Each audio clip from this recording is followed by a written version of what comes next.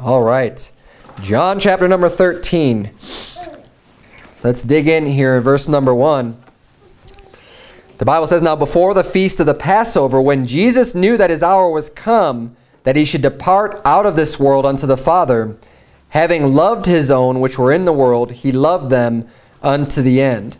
Now, and we'll, I'll keep reading here to verse 3. It says, And supper being ended, the devil having now put into the heart of Judas Iscariot, Simon's son, to betray him, Jesus, knowing that the Father had given all things into his hands, and that he was come from God, and went to God, he riseth from supper, and laid aside his garments, and took a towel, and girded himself. Now, as Jesus grew in his life, Jesus, of course, was God in the flesh, right? And, and as he grew in his life, you know, I think more things became to become known to him of who he was and just gaining more knowledge and more wisdom. God obviously has all wisdom, all knowledge, all knowing. God knows the beginning from the end. God is everlasting. God knows everything. But when God took on the form of a man, when God became a human being, he also took on certain limitations of being a man.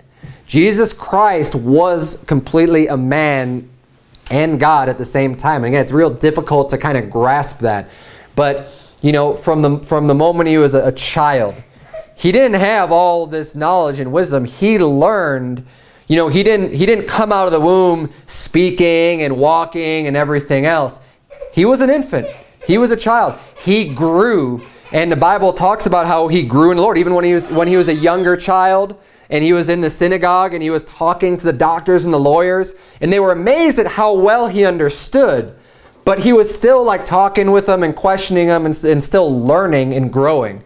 And we see at this point now in Jesus' life, he's kind of he's come to a lot of knowledge i mean this is at the end of his ministry and that's why it says there in verse 3 it says jesus knowing that the father had given all things into his hands and that he was come from god and went to god he's gotten to the point now he is fully confident fully aware and fully knowing exactly what he's doing, that the time has come, and that and that he and he's known he's from God for a while because obviously he's been saying that that God has sent him and he speaks those things which he heard of the Father and that he's the Son. But he kind of reaches this point now. It doesn't say he knew this only just at this time, but but he's gained this kind of full comprehension, full understanding of everything that he needed to do by this point. And um, the hand of God was upon him. But I just want to point that out because, you know, he didn't know that from way early on. It's something that he had to grow to as being a man um, while being God in the flesh. But this, what he does here is really interesting because think about who Jesus Christ is just for a second when we get into the story. Jesus Christ is God in the flesh, right? As we were just saying. A perfect man, a, you know, the Son of God came to seek and to save that which is lost and came to die for the sins of the whole world. Look at what he does. It says that um, in verse 4, he says, He riseth from, so he, he just had dinner with his friends, with his disciples. He riseth from supper and laid aside his garments and took a towel and girded himself. So he, he kind of takes off the clothes he was wearing and he puts on this towel. And he goes about the table. And it says, After that he poureth water into a basin. So he gets a bowl of water and he began to wash the disciples' feet and to wipe them with the towel wherewith he was girded. So he's going around this table, the dinner table. This is Jesus Christ, and they know he's the Christ, and he knows he's the Christ. He's the King of kings and Lord of lords. He's, you know, he is a righteous king. He is someone of, of very high exaltation, right? Someone that you look to and respect. He's the master. He's the teacher. He's the rabbi. He's the one that you're looking to. And he just puts on, he puts a towel around himself. You imagine him just getting down, you know, they're sitting down, getting down on his hands and knees and taking this bowl of water and just wiping their feet. And just, just scrubbing their feet. I mean, I don't know about your all feet, but I think of, of how my feet smell. I mean, you're walking around all day and, you know, you walk, they get dirty and dusty. And if you're not wearing, you know, if you're wearing open-toed shoes and things like that, you know, and he's getting down and washing and washing their feet. This is the Son of God getting down on his knees and washing his disciples' feet. This is a huge event in the Bible, and we're going to spend a little, quite a bit of time on this um, in the sermon, just because this is something that we really need to, to focus on, and we're going to get into um, some more Bible verses and stuff. But um, we're gonna, let's just read through this this section now of him doing this clean cleansing of the disciples' feet, because this is a big event. This is a major event for the Son of God to humble himself and to not only wash their feet, but then he put on the towel. So it's like his own clothing he's drying them with. And he's wearing that as he goes from disciple to disciple, just that, the, the, from cleaning their feet, wearing that towel on himself. Very, very humbling. A very, very lowly task to do for somebody is to go and actually wash your feet. I mean, think about this, right? Um, maybe they don't they're not really around that much anymore but i've seen them sometimes still in the airport where you'll have the shoe shiner right? You don't think of somebody who shines shoes as being man that's what i want to be. You know like i want to get to that level of being a shoe shiner. It's not looked on as a job of having a lot of respect and a lot of you know of something that you that, that's your goal to attain to. It's typically a humble job that people take because they need to work they need to make some money. So what can they do? They're gonna they're gonna clean up your shoes for you. And typically you're just kind of you know working for tips or working for a, low wage, cleaning up people's dirty shoes. This is something similar what Jesus did. I mean, it's the best analogy we can have today because we don't really have this custom of, of you know washing people's feet that much anymore. But um, what he did here, it's it's we need to just let that sink in uh, of what a mighty powerful man Jesus was to, to get down and to do that because he is making a very, a very significant point in doing that. So it says, you know, at the end of verse 6, it says that he, wiped them off with the towel he was girded with. Ver, verse 5, verse 6 now says, Then cometh he to Simon Peter, and Peter said unto him, Lord, dost thou wash my feet? So Peter, I mean, he sees what's going on. He's like, wait, you're going to wash my feet?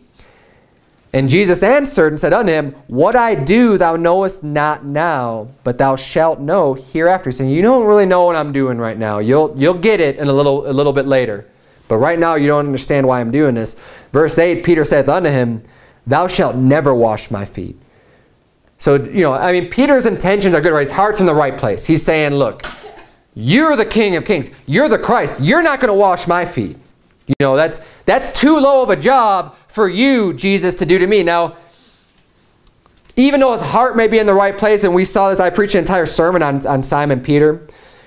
He had a great heart, and he was a great man of God, but he had a tendency to speak sometimes when he ought not to. He, he ought to just, you know, let Jesus do his thing because you don't want to find yourself rebuking Jesus Christ or telling him that, you know, that he's not going to do something or he shouldn't be doing something. Peter had a tendency to do this. Um, you remember not, not only here, but um, when Jesus was saying that he was going to be crucified, and Jesus said, not so, Lord. Like, no, you're not going to you're not going to go die. Jesus turned to him and said, get thee behind me, Satan. And again, Peter's intentions were great. You know, he, was, he loved Jesus, but he had a tendency to say things that just, they weren't true, and he shouldn't really have been saying those things to Jesus, telling him that. And this is another one of those examples where he's saying, look, you're not going to wash my feet, because he saw what was going on. But when Jesus is doing something, you, you let him do it. you, don't, you don't tell him that what he's doing is wrong, and he shouldn't be doing that. Um, especially after he said, look, you don't know what I'm doing right now. You know, it's okay to question, like, wait, what are you doing, Jesus? But Jesus said, okay, you don't know what I'm doing right now, but you're going to know. And then to follow up with that and say, look, you're never going to wash my feet. Look at Jesus' response. He says, Jesus answered him, if I wash thee not, thou hast no part with me. This is serious. Saying, look, if I don't wash you, you don't have any part with me. Verse 9, Simon Peter saith unto him, Lord, not my feet only, but also my hands and my head.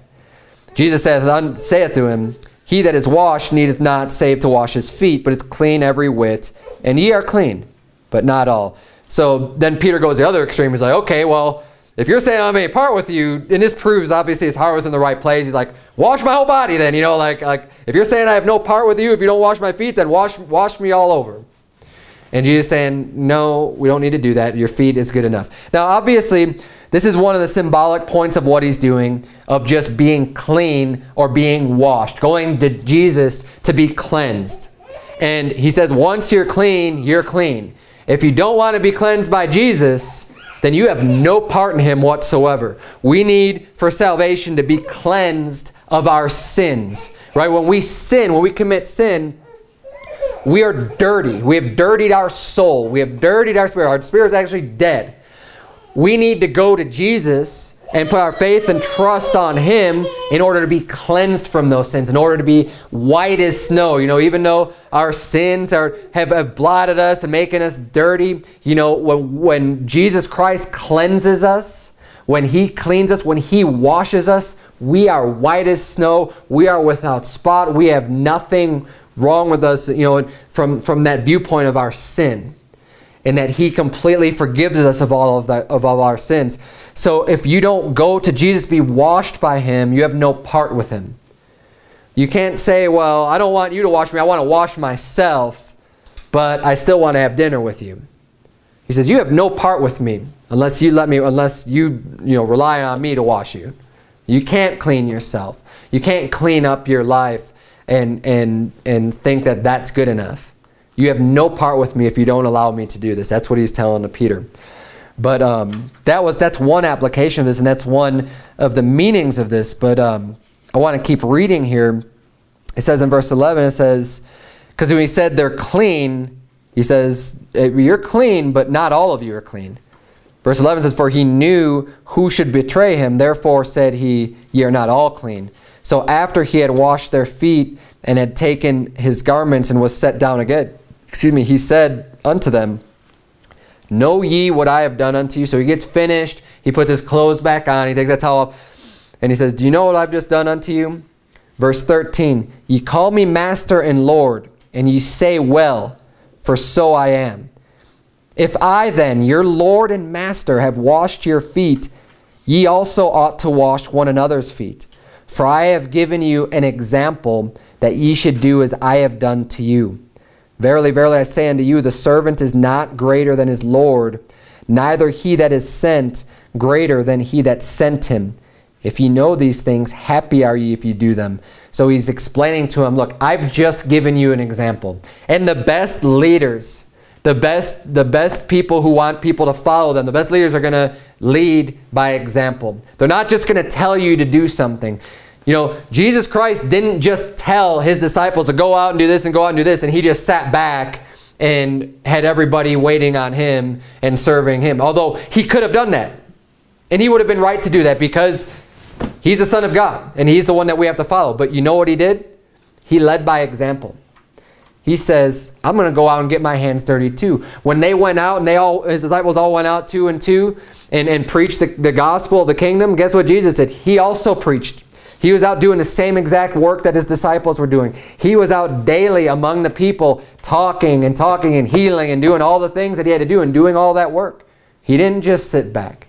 He led by example. And he, he lived the perfect example because Jesus Christ, the Bible says, was without sin. Everything that Jesus Christ did, he says, I do always those things which please the Father. Everything that Jesus Christ did, he is always pleasing to God. And that's the example that we need to look to Jesus for. Now, I want to point out this phrase here because he says in verse 13, Ye call me, he says, you, call me Master and Lord, and ye say, Well, for so I am. Jesus Christ right here is claiming to be their Master and to be their Lord. Now, flip, if you would, keep your finger in John 13. Flip over to Matthew 23. Matthew 23, just a few books back in the Bible, Matthew 23. Because again, if you ever want to prove the deity of Jesus Christ, you can turn to just about any chapter in the book of John to do so. And this one is no exception. Jesus Christ is God in the flesh, and it's important that we have the right Jesus. We were just talking to some Mormons today, and you know, they like to do this. They like to try to tell you, well, look, you're here because you're trying to tell us that we need to believe on Jesus to be saved, and we believe on Jesus, so there's no problem. And I hear this all the time from them, is that they say, well, look, we're good anyways because we believe in Jesus. They've got the wrong Jesus.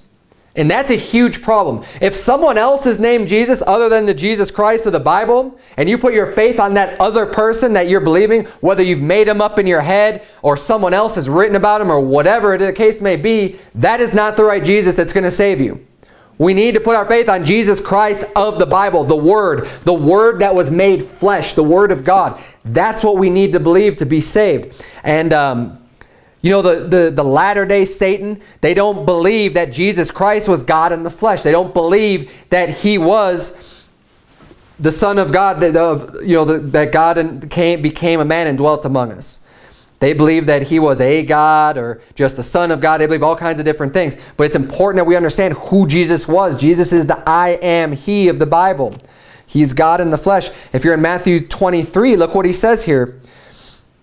He says in verse 8, But be not ye called rabbi, for one is your master, even Christ, and all ye are brethren. And call no man your Father upon the earth, for one is your Father which is in heaven. Neither be ye called masters, for one is your master, even Christ. But he that is greatest among you shall be your servant, and whosoever shall exalt himself shall be abased, and he that shall humble himself shall be exalted. Now, Jesus is teaching them right here in Matthew 23, 8. He's telling his disciples, he's telling, he's telling all the people, look, you don't need to be, don't be calling yourselves rabbi, don't be calling yourself father and don't be calling yourself master. Now, there are people and there are religions that do this very thing today, and it blows my mind that this still exists. I mean, it doesn't blow my mind for the, for the Jews because they don't believe in Christ. So they're not going to believe his words anyways. For, so for the Jews to call themselves rabbi, it's blasphemous. Jesus said not to do it because there's only one master, it's Christ. But they don't believe Christ. They don't believe his teaching. So I could understand why they still use that term. But what about Father? One of the biggest, if you want to call it Christian religions in the world today is the Catholic religion, Catholicism. And, and there's, there's tons of members of the Catholic Church. And what do they call their priest? They call him Father. Yeah. And what did Jesus say? He says, Call no man your father upon the earth, for one is your Father which is in heaven. He specifically says, and look, again, without soul winning today, we're talking to someone say, oh, you interpret that different. You know, this girl, it's, it's the Mormon people, right? As the, the, the Mormon girl saying, uh, you know, well, that's how you interpret it. Like, no. Well, it was the verse where I said, um, Jesus said, there, you know, there's, there's none good but one, and that's God. And she said, well, that's your interpretation. I said, no, that's what the Bible says. That's not open for interpretation. It's just what the book says. That's what Jesus Christ says. And she didn't believe that because she doesn't believe Jesus. She doesn't believe the Bible. But um, it's just like this statement. You can't interpret this. I mean, Jesus Christ is just saying, look, don't be called rabbi, don't be called father, and don't be called master. And these are all terms given to a spiritual leader, right? Someone who's, who's leading a, a congregation of people and trying to lead them in the things of God. Rabbi, master, and Father. Yet you still have the Catholic Church saying, call me Father. Completely contrary to what the Bible is teaching. And it just blows me away. I mean, there's just no respect whatsoever for what the Bible says. And they'll try to explain it away, but it's very clear. I mean, you, you, again, it, you, I don't see how you could come up with another meaning to these simple statements and these simple words.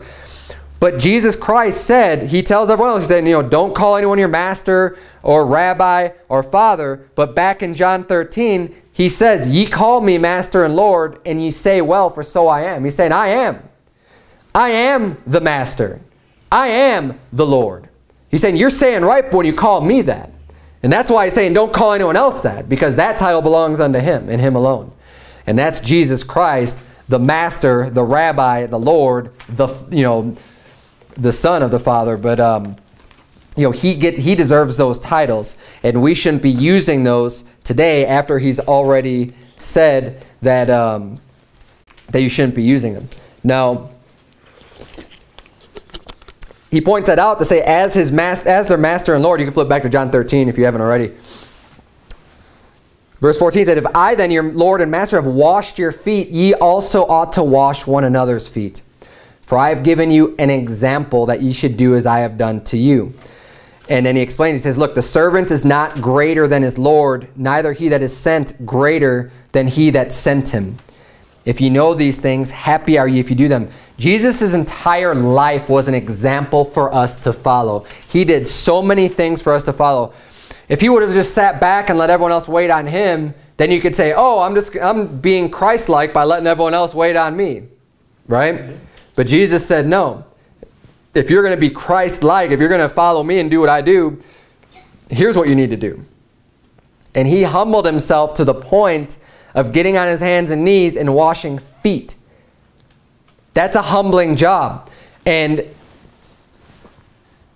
he explains, look, the servant is not greater than his Lord. So like, you're not better than, you know, for example, in a, in a work situation, you know, you have the employee and the boss. The employee is not better than the boss, right? If the boss tells you to do something, you're not better than the boss. The boss is the one who's paying you. The boss is what, you know, who, who's, who's, who's has authority over you in that structure. So the, the, in any situation where you have that, that rule of authority, you're not better than the person above you, right? So Jesus is saying that he says, I'm the Lord and Master, so if I'm doing these things, don't think that like, oh, that job is too low for me. Which is why he's doing it. He's saying, don't, don't be thinking like, well, I'm not going to do that because I'm better than that. Oh, really? Are you better than the Lord Jesus Christ? That's what that's the point he's trying to make here. He's saying, you're not better than me. And if you're not better than me and I'm getting on my hands and knees and washing feet, then you ought to be able to do the same exact thing. And that's the type of love and the humility we ought to have so that we don't have this, walk around with this proud attitude. We are not supposed, it's not all about us. Our life is not all about us. It's actually the opposite. It's about everybody else. We ought to esteem others better than ourselves. This is one of the core doctrines and, and core truths of the Bible. This is extremely important. If you take nothing else away from the sermon tonight, take this away of the fact of the importance of how much Jesus ministered unto other people and his life revolved around helping other people out, helping them out with their problems, sicknesses, diseases, whatever it is, salvation, everything. His life, his work was about everybody else. And the goal and the, the final accomplishment of entire life was giving himself up as a sacrifice for everybody, for the whole world, to pay for our sins, that we don't even deserve it at all. As sinners, we don't deserve that kind of love. We deserve a punishment. But because you know Jesus set forth that example. So remember that in your life, when people wrong you, when people do you wrong, people done a lot worse to Jesus. But look at the humility he had and still went through with offering himself up as a sacrifice to pay for our sins. That is the type of, you know, we need to be able to humble ourselves. Sometimes, look, pride's going to hold you back from maybe helping someone else that, that gave you a hard time before. Someone who, someone who, you know, ridicules you or mocks you or has done you wrong in the past. And then all of a sudden you have an opportunity to do, do something good for them Pride's going to tell you, I'm not, I don't have anything to do with that person. You remember what they did to me and you hold that grudge and you think back, are you better than Jesus? Because Jesus died for the sins of the whole world. And they've all done him wrong. We need to remember that and be able to get past ourselves and not think of ourselves as anything better than Christ. Because he was able to get down and he's do that. And he's doing all the work. And don't think that like, oh well I, I don't want to go out soul winning because uh, you know I can't I can't talk to people. Well, that's what Jesus did. Jesus gave us the example. I can't do this. I can't do that. Whatever it may be. There's so many examples. This is applicable in so many aspects of our life. Being able to have this humility and, this in this state of mind is what it really is. It, it's it's the way that you live. It's an attitude that you ought to have of being able to think to, to, to live your life thinking, what can I do to help other people out? Instead of just thinking, how am I going to better myself? Instead of just thinking, how am I going to make more money? How am I going to do this? How am I going to do this for myself? How am I going to get these things? How am I going to accumulate this for myself? When you start thinking in terms of, hey, what can I do for this person? What can I do for that person? What can I do for them? It'll force you to, to be doing a lot more of the things that, that would be considered Christ-like when you have that type of attitude, when you have, when you have that type of goal. Jesus Christ um, came, turn, are you in, flip back to Matthew 20. I know I had to go back to John 13, but go, go back to Matthew 20 because I want to show you this.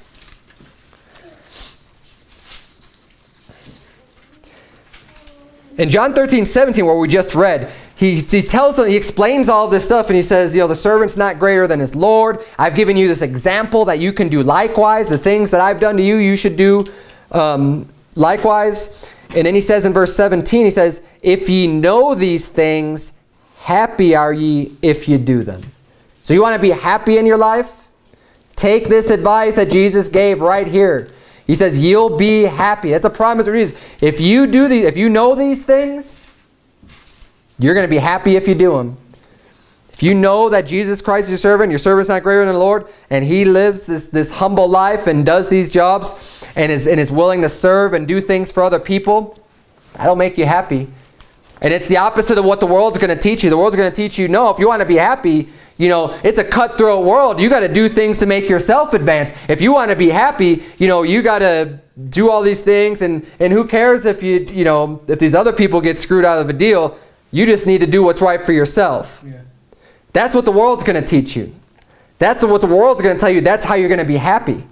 But that's not what the Bible says. Jesus says, happy are you if you do these things where you're serving other people. You're in Matthew chapter 20. Look down at verse number 20.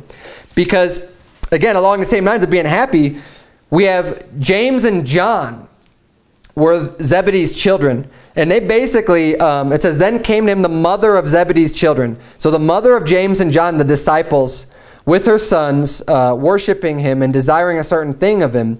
And he said unto her, What wilt thou? She saith unto him, Grant that these my two sons may sit, the one on thy right hand and the other on the left in thy kingdom. So they go to Jesus this mother and her two sons, James and John, and she says, look, I want my sons to sit on your right hand and, your, and on your left in your kingdom. That's a big favor she's asking. She says, I want my sons to be right there, your right hand men, right and left hand men in your kingdom. I want them to be right up there next to you. And um, Jesus can explain how they could even do this. So he says uh, in verse 22, he says, But Jesus answered and said, Ye know not what ye ask. Are ye able to drink of the cup that I shall drink of? and to be baptized with the baptism that I am baptized with? They say unto him, We are able. And he saith unto them, Ye shall drink indeed of my cup, and be baptized with the baptism that I am baptized with. But to sit on my right hand and on my left is not mine to give, but it shall be given to them for whom it is prepared of my Father. So he's saying, well, look, I can't promise you to those positions because that's not even mine to give. My Father's going to give those positions out. Verse 24, though, it says, and when the ten heard it, they were moved with indignation against the two brethren. So the other ten disciples hear about this and they're like, wait a minute, what do you think you're doing going and asking for those two seats? Like, what about us? And they had indignation against, and they were angry about this. Verse 25, But Jesus called them unto him. So he's going to explain all this. And said, Ye know that the princes of the Gentiles exercise dominion over them, and they that are great exercise authority upon them. But it shall not be so among you, but whosoever will be great among you, let him be your minister, and whosoever will be chief among you, let him be your servant. Even as the Son of Man came not to be ministered unto, but to minister and to give his life a ransom for many. So he explains this. He says, look, you know, the rulers of this world, the princes of the Gentiles, the princes of the one, you know, the principal people, the men in charge of the Gentiles, you know, they have a dominion. They exercise authority on the people below them.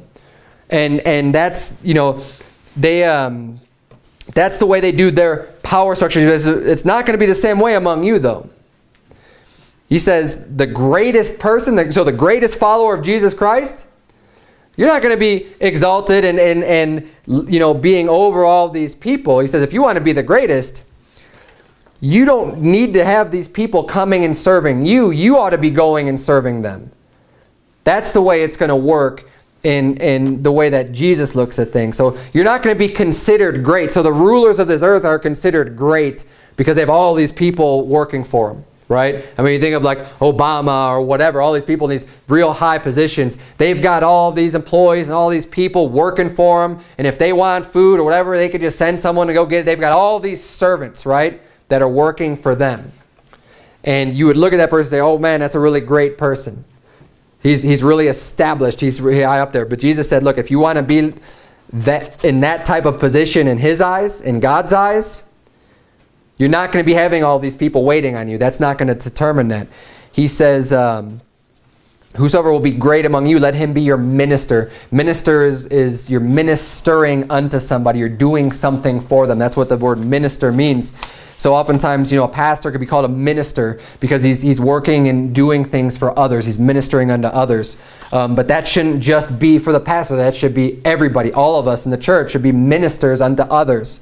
Um, he says, and whosoever is going to be chief among you, let him be your servant. And he says, even as the Son of Man, Jesus Christ himself came not to be ministered unto, but to minister and to give his life a ransom for many. Jesus Christ came into this world not so that people could serve him and do things for him and everything else, he came to help other people out. And that's the example that we need to be following today. Turn, if you would, to 1 Peter chapter 4, near the end of the New Testament, near the end of the Bible. 1 Peter chapter number 4. It's right after the book of James. You have 1 Peter.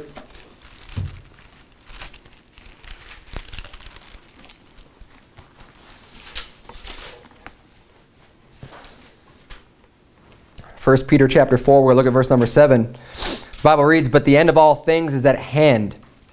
Be ye therefore sober, and watch unto prayer. And above all things have fervent charity among yourselves, for charity shall cover the multitude of sins. Use hospitality one toward another without grudging. So again, we're seeing the same thing, having this charity, doing things for other people, hospitality one toward another without grudging. Don't be upset, oh man, we've got company and now I've got to feed them you know, I don't have any money, you know, whatever. Like, look, don't be grudging. You, someone comes in your house, you can receive them in and, and, and be nice to them, be hospitable, offer them things. That's, that's what we're supposed to do.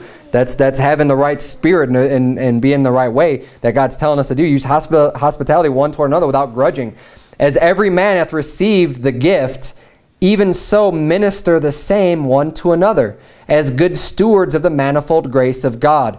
If any man speak, let him speak as the oracles of God. If any man minister, let him do it as of the ability which God giveth, that God in all things may be glorified through Jesus Christ, to whom be praise and dominion forever and ever. So if God's given you any special gifts or any abilities, you know, to serve him, do it, you know, in, in all things, that, that the glory and honor could come to Jesus Christ because he was the example. And God's the one who gives you these things. So by, by doing that and ministering unto other people, by whatever ability you have to minister, that's going to bring honor and glory unto Jesus Christ. Verse 12 says, Beloved, think it not strange concerning the fiery trial which is to try you as though some strange thing happened to you.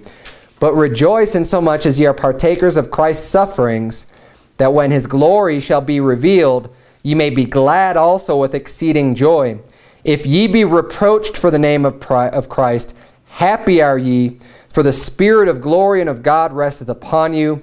On their part, he is evil spoken of, but on your part, he is glorified. And I, I, kept reading here just to mention that because that ties in with the fact that Jesus Christ said, look, you're not, no servant is above his Lord or above his master. And Jesus has said, you know, if they called the master of the house Beelzebub, how much more than his servant? So like, you know, we're here serving Christ. Jesus Christ was called just about every name in the book, okay? He was ridiculed and despised and afflicted and, and harmed and beaten and all, had all these things happen to him. So basically, we shouldn't be surprised if these things were to happen to us because of our faith, because of what we believe. Now, Thank God we live in an environment, in a, in a nation that's not very hostile towards Christians because it's been founded for the most part on Christianity and Christian beliefs. But I'll tell you what, those values are getting flushed down the toilet daily. And this nation is very rapidly becoming no longer a Christian nation. And it's not going to be much of a surprise, to me at least, if we start experiencing a lot more persecution for our beliefs because of just the mentality of our culture and of the wickedness that's going on. People grow more and more intolerant of Christians daily. These same people that want to claim and promote, oh, we're, we're tolerant. We tolerate everybody. We tolerate everything. And all they mean by that is they tolerate wickedness. They tolerate sinful, you know, perversion. That's what they want to tolerate. They want to tolerate everything that's against God. And the one thing they don't tolerate is, is God and the Bible. They have no tolerance for that. They'll call you hateful because You call sodomy a, a wicked abomination that deserves a death penalty. That's, that's hateful. No, that's truth. That's the Bible. That's wholesome. That's good. But they have no, you know, they have no tolerance for the Bible, for Christianity, yet they claim tolerance, and it's just, it's, it's ridiculous. But, um, you know, we shouldn't think that we're better than Christ. So if, if trials and persecutions ever come your way, don't think, oh man, I'm serving Christ. Why is all this stuff happening to me? This shouldn't be happening to me because I'm doing what's right. Actually, it's, it's exact opposite. If that were the case, then you'd be saying, well, I'm better than Jesus. Because Jesus did everything right and served God 100% perfectly, yet the persecution came on him. So don't ever have this attitude of thinking that, oh, just because bad things might be happening to you, you're experiencing hard times and hard troubles, that is anything to do with you, um, you know, that you shouldn't deserve those things or whatever because you're doing that which is right in God's eyes. Jesus did everything right, yet it came upon him, and we're not better than Jesus. So if they come on us, there's a reason for it. Okay, we don't always know what the reasons are, but we ought to just continue to live solidly to bring honor and glory unto the name of Christ. And we know that these things are going to happen, so we shouldn't be shocked by it, and don't let it get you off guard. Let's go back to John chapter 13. We've got some more points to cover, but that one is that one is extremely important that we have this mentality of humility and and putting others just looking at other people as being important. And not just important, but look at them and think, what can I do for that person? Even if it comes at a sacrifice of yourself. What can I do for other people? How can I help them get better? This is a Christian attitude. This is something that we ought to strive to get better at of, of just being able to focus on people. One of the best things you can do for a person is give them the gospel and try to get their soul saved. That's one of the most loving things you can do for a person. But whatever your ability, whatever, whatever you can do, we ought to be able to do those things and look on other people with that type of an attitude. Let's keep reading. Let's jump down to verse number um,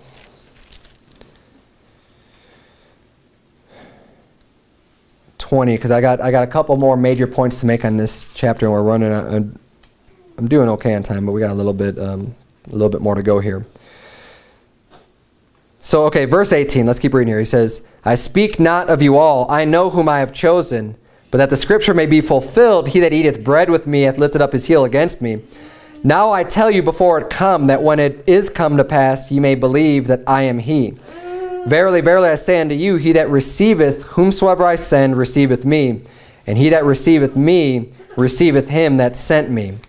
When Jesus had thus said, he was troubled in spirit, and testified, and said, Verily, verily, I say unto you, that one of you shall betray me. So he drops this bomb on him now, and um, it troubles him. You know, it, it bothers Jesus that, that one of his 12 disciples who have been with him for three years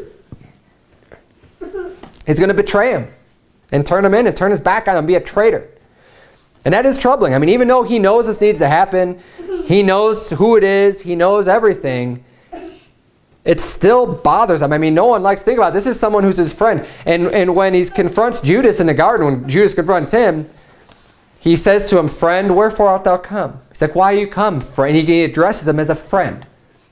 Judas was Jesus' friend, and his friend betrays him. And it's that's not a fun thing. If you've ever had a friend betray you, it's not a pleasant thing to experience. And it, and it troubled Jesus, but he tells him, he drops his Bible, he says, Look, one of you shall betray me.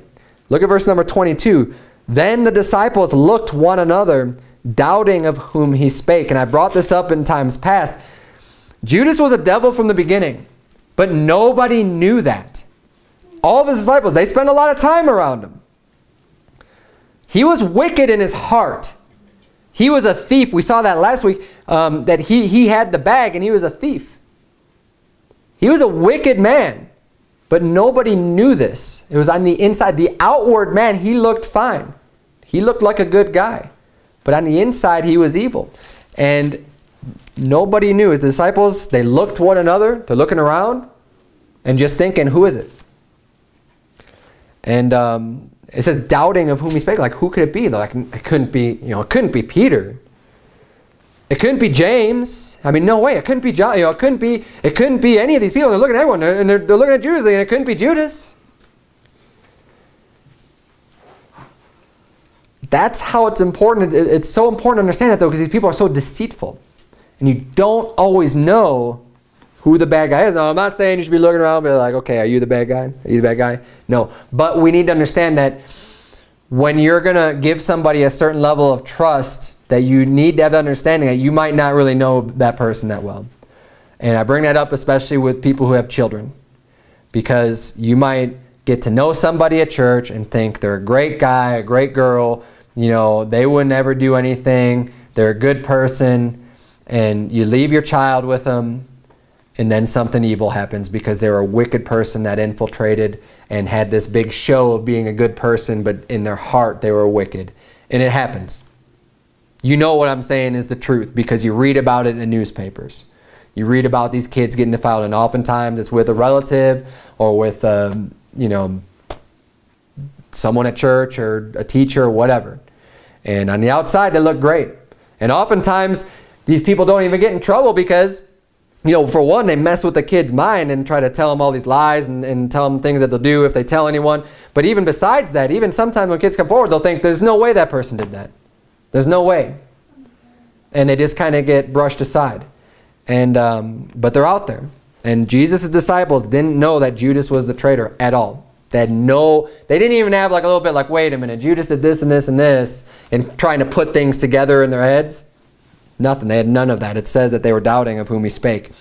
Um, and what's even more baffling here is we see that they ask Jesus who it is. Look at verse number 23. It says, Now there was leaning on Jesus' bosom one of his disciples whom Jesus loved. We know that this is John.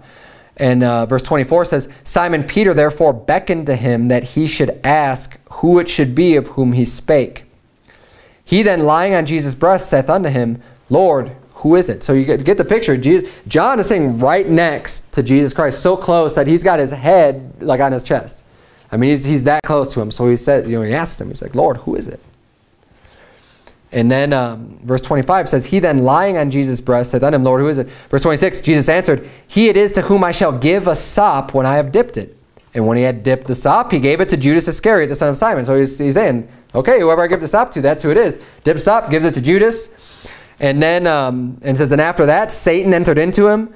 Then said Jesus unto him, That thou doest, do quickly.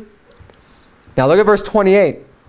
Now no man at the table knew for what intent he spake this unto him. For some of them thought, because Judas had the bag, that Jesus had said unto him, Buy those things that we have need of against the feast, or that he should give something to the poor. It says, No man at the table knew why he did that, why he spake that unto Judas. So even like he just said that the person I give this up to, that's who it is, and they still didn't get it. They were just like blinded to this fact that Judas was the was the traitor which I find that that's pretty amazing there. But um, let's keep reading here. Verse number 30, it says, He then having received the sop went immediately out, and it was night. Verse 31, Therefore when he was gone out, Jesus said, Now is the Son of Man glorified, and God is glorified in him. If God be glorified in him, God shall also glorify him in himself, and shall straightway glorify him. Um, keep reading verse 33. No, getting right with my notes here.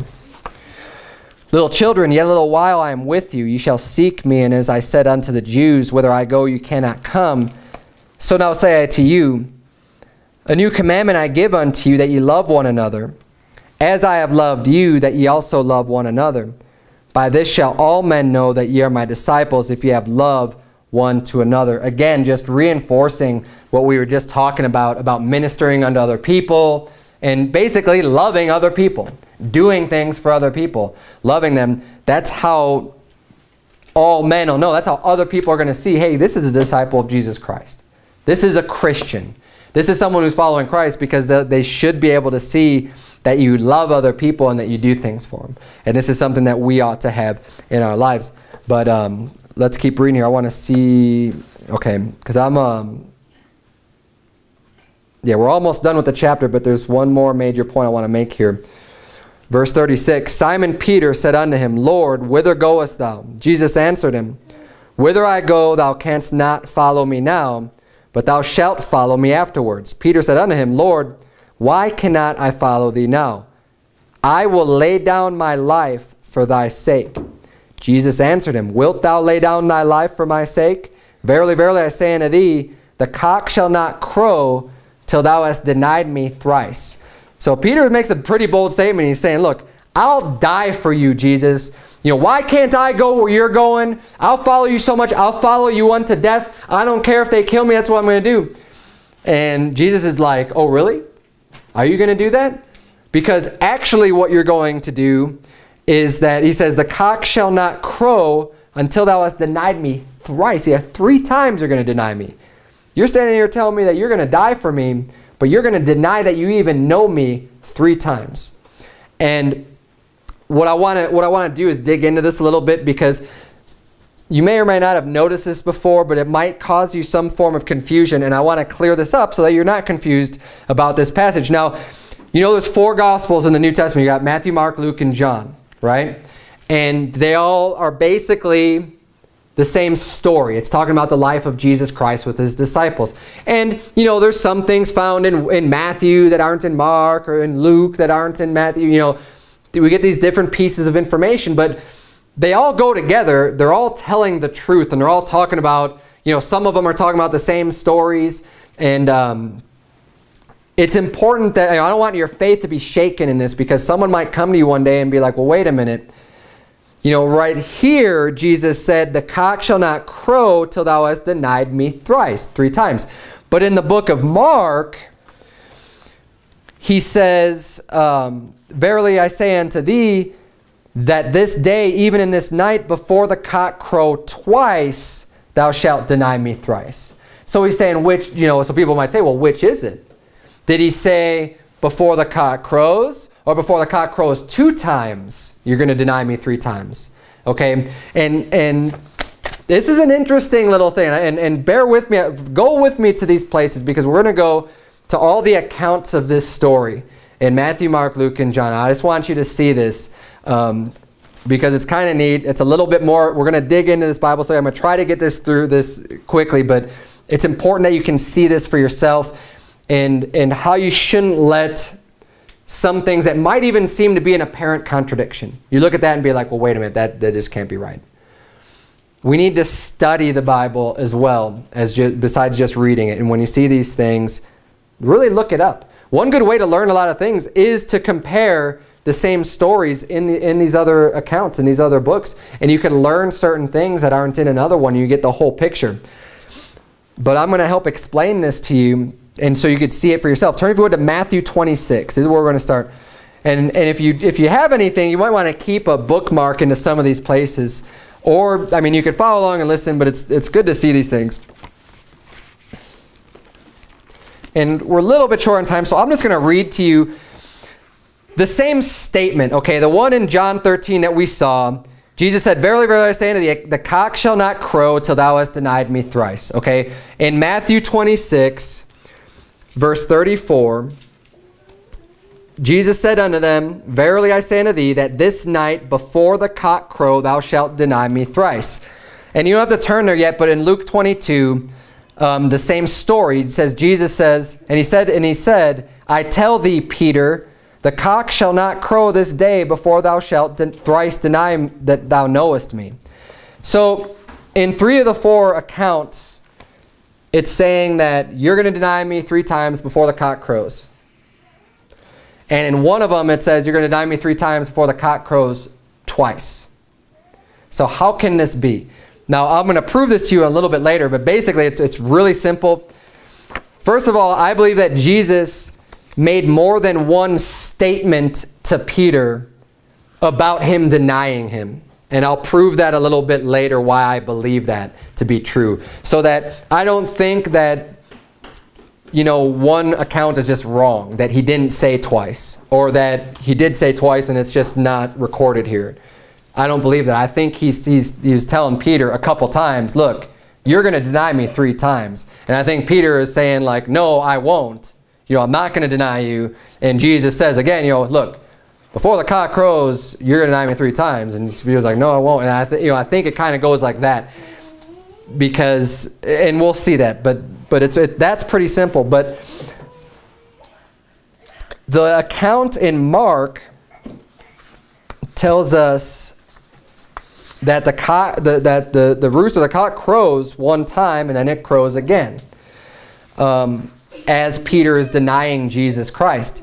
And we're going to look at, at these accounts. And again, bear with me here. If you're in Matthew 26, we're going to jump down to verse 69. We're going to see Peter denying Jesus. And I, if I had a whiteboard or something, I'd write all this stuff down. I've got it in my notes, but it's kind of important to see this. Um, we're going to read through what how Peter denying Jesus. So in, in Matthew 26, verse 69, the Bible reads, Now Peter sat without in the palace, and a damsel came unto him, saying, Thou also wast with Jesus of Galilee. But he denied before them all, saying, I know not what thou sayest.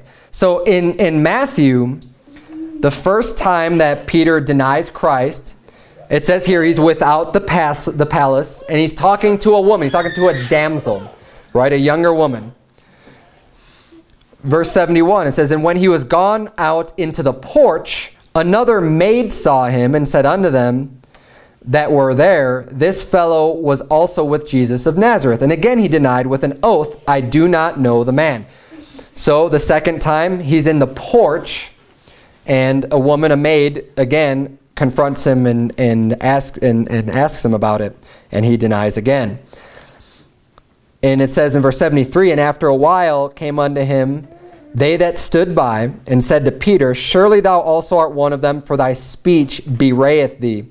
Then began he to curse and to swear, saying, I know not the man, and immediately the cock crew. So finally these people are saying, look, you, you speak like, basically they're saying you speak like a Galilean. Jesus was of Galilee. They're saying you, you talk like him. Your, you know, your, your accent is giving you away. That you are, you are one of his disciples. And he denies again. And it says that that was um, after a while that happened. And they were able to tell by the way that he spake. Now in Mark, turn over to Mark if you would, just the next the next book over, Matthew, Mark, Mark 14.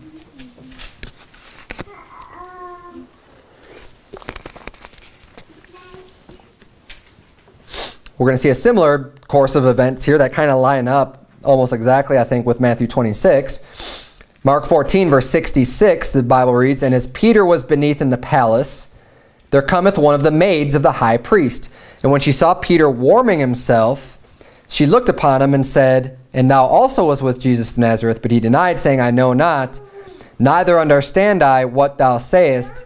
And he went out into the porch, and the cock crew. So here we have a cock crowing at this point in the story.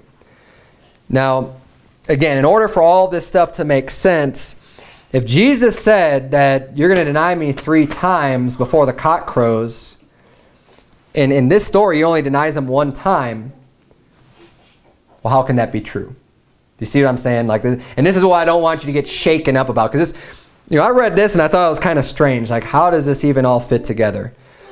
How can he say in all these other accounts, you're going to deny me three times before the cock even crows?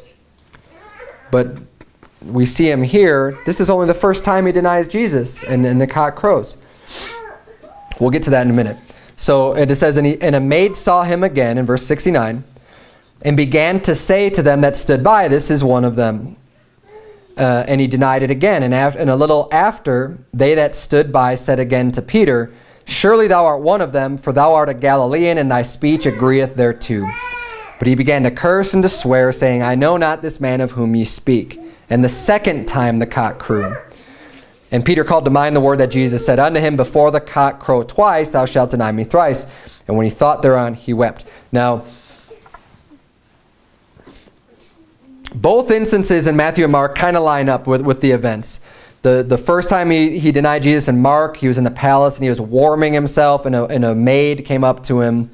The second time he was in the porch, which is exactly the same as the second time in Matthew, he was in the porch and a maid came to him. And then the third time, um, it was after a while, in both of them, after a little while here, and they talked about his, his speech, and that's when he denied him. Let's look at Luke. Luke 22.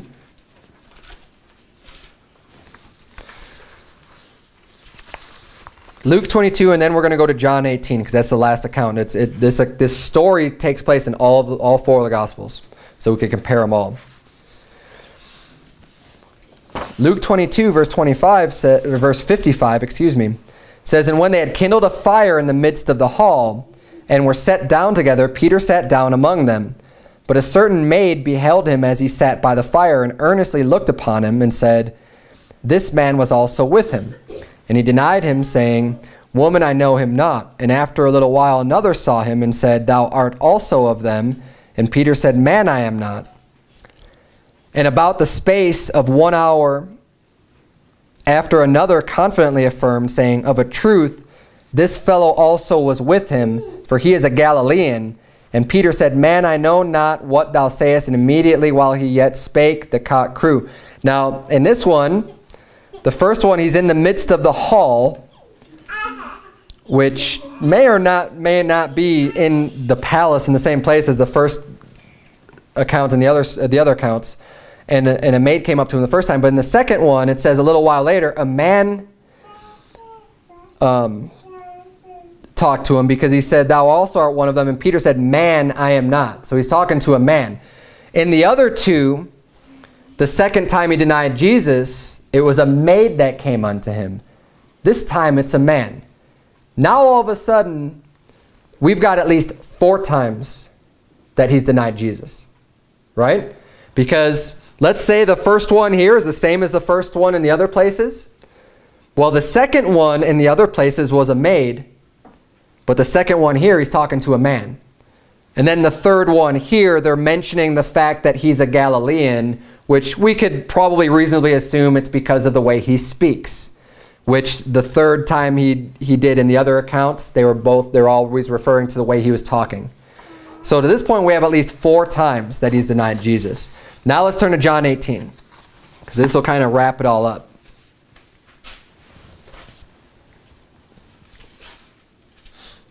John 18 and verse 15.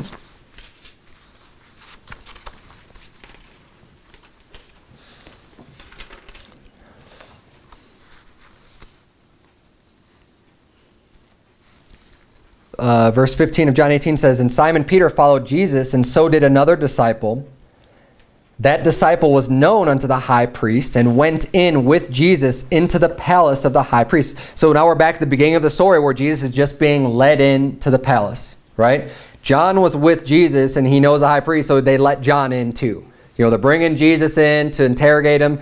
John comes into, verse 16 says, but because Peter was, was a far farther way off, it says, but Peter stood at the door without. Then went out that other disciple, which was known unto the high priest, and spake unto her that kept the door, and brought in Peter. Then saith the damsel that kept the door unto Peter, Art not thou also one of this man's disciple? disciples? He saith, I am not. So this is the true first time that Jesus or that Peter is denying Jesus because this is the, the woman that's at the gate of the palace where he's denying Jesus. In the other accounts, we don't see this. We see him already in the palace and already like in, in Mark, he was warming himself already. Well, he's right at the gate. He's not warming himself here. So this is yet another time that he denies Jesus. This is actually the first time that we get from the account here that he's warming or that he's that he's let into the gate and this woman speaks unto him. So it's another woman that confronts him and says, Hey, aren't you? Aren't you? and Like, no, I don't know him. He denies. And then we keep reading here. It says, um, verse 18, and the servants and the officers stood there, who had made a fire of coals, for it was cold, and they warmed themselves, and Peter stood with them and warmed himself. So now we get to the point where he's warming himself. Jump down to verse 25. It says, And Simon Peter stood and warmed himself. They said therefore unto him, Art not thou also one of his disciples? He denied it and said, I am not. One of the servants of the high priest, being his kinsman, whose ear Peter cut off, saith, Did not I see thee in the garden with him? Peter then denied again, and immediately the cock crew. Now, he's not talking about his speech either, right? This is guy, he's saying, wait, I was there. You know, he's a kinsman. The, the guy, because when when they came to arrest Jesus, Peter takes out his sword and he's he's willing to fight at that point, and he he cuts off one of the guy's ears, and then Jesus heals him. That was this guy's relative, so he's paying close attention to Peter. He knows that he's seen him. He's like, wait a minute, weren't you with him in the garden? Right? And of course he denies that. But what I get from the story, look, this is at least six times that Peter has denied Jesus Christ. He didn't deny him only three times. Jesus just said that you're going to deny me three times before the cock crows. So when he tells him he's going to deny him three times before the cock crows, and then he tells him you're going to deny me three times before the cock crows twice, they're both true. Because by the time the cock crew the second time, he had already, you know, denied him a bunch of times, probably six times at least. And we don't know. You got to imagine, again, put yourself in the situation. You know, these are all of these different accounts of things that people are saying to him. But there's a group of people, you know, you know, warming themselves. You could have multiple people saying, wait a minute, no. You know, and, and, this is what's happening. They're saying, you talk like a Galilean. You weren't there? No, no, it wasn't me. You know, I saw you there. You weren't there. You know, no, no. A maid comes up. You, aren't you one of them? No. So he's denying and denying and denying and denying. But see, this doesn't pose a problem for Scripture. When you actually look at it really closely, I know, I hope I didn't bore you too much tonight with this, but it is important that we do these things because I mean, you know, you're trusting in the Bible as the truth, and it is. And I don't want anyone to come to you and be like, oh, there's all these errors in the Bible, and see, look, it says this here and he says this here. How could you even trust that? Because it says two different things. Well, first of all, uh, okay, so I'll prove that to you. Why do I think that Jesus said that more than once? The reason why is back in John 13, um, uh, uh, uh um, here, back in Mark chapter 14. In Mark 14, the reason why I think that Jesus probably told Peter more than one time that he was going to deny him, right? Because I said that. I think that these accounts that we have are literally what Jesus said. I trust the Bible. I trust that that's true. I trust that Jesus said these things. I don't think there's a mistake that, that, that you know, John forgot to write down that he said, oh, before the cock crows twice. No, I don't think he forgot that at all. I think he was just recording one of the statements that Jesus made, but Jesus made more than one statement about him denying him. And the reason why, one of the reasons why I think that is in Mark 14, uh, in verse 29, the Bible says, But Peter said unto him, Although all shall be offended, yet will not I. And Jesus saith unto him, Verily I say unto thee, that this day, even in this night, before the cock crow twice, thou shalt deny me thrice. But he spake the more vehemently, if I should die with thee, I will not deny thee in any wise. Likewise, also said they all. So he's arguing back and forth because he says he spake the more vehemently. So he's even more saying like, no, I am, I am going to, you know, die for you. Which would lead me to believe, why wouldn't Jesus answer him again and say, no, before the cock crows, you're going to deny me three, you know, three times. And um, it just makes sense if you think about the conversation that they're having. If you kind of put yourself into what's going on here. And and what you know if you were a part of that group and, and what what would you imagine going on? And you could see all these recorded statements? Of course it only makes sense that that you know Jesus, peter's affirming multiple times that he's not going to deny him and jesus is responding and saying yeah you will. And the same thing when there's a group of people all starting to confront Peter and say, wait a minute, you're one of them, weren't you? He say, no, you're one, you know, nope, wasn't me. And he, and he does this over um, a long span. And we saw that too, in a, you know, I didn't draw much attention to it, but in one of the accounts it says that an hour had passed um, before the third um, denial. And that was in Luke, I think. And in other ones it says a while had passed. So there's, there's a lot of time for people to be to be asking him this and, um, and for him to be denying. But I think by the time the cock crew the first time, he had already denied him three times. It's very reasonable to believe that, and we have all these times. We saw at the gate. You know, again, it's another reason why it's important to look at all the Gospels, look at the story from all accounts, because you don't know about him denying very right away from the gate until you get to John. None of the other ones even record that. And the same thing with the guy that the, the, the kinsman of the, the guy whose ear he cut off. We don't know about that one either. Those are just two more times he denies Jesus. So unfortunately, Peter denied Jesus even more than three times. He denied him, we counted at least six times.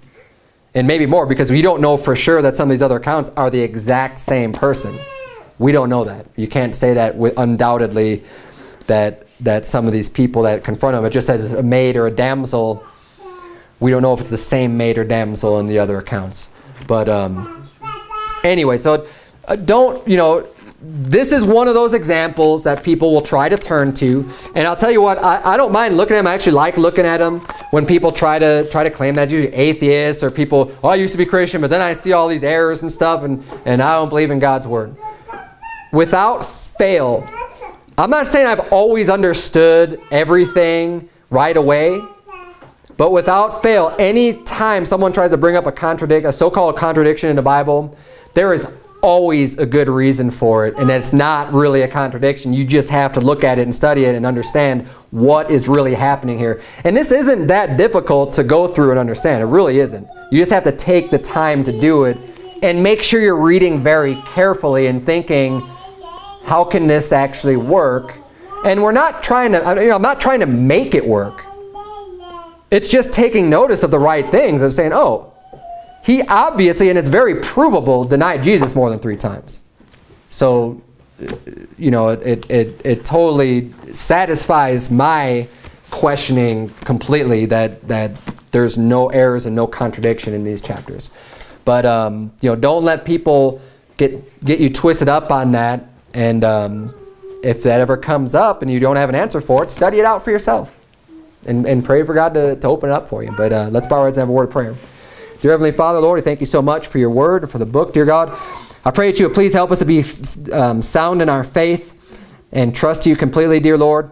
Um, I thank you. Your book is so amazing. The Bible is so amazing, dear Lord. Um, everything fits together perfectly, kind of like a puzzle that, that um, has a billion pieces, Lord. There's so much to, um, to find and so many truths to find in your word. And it's amazingly perfect, dear Lord, as you are.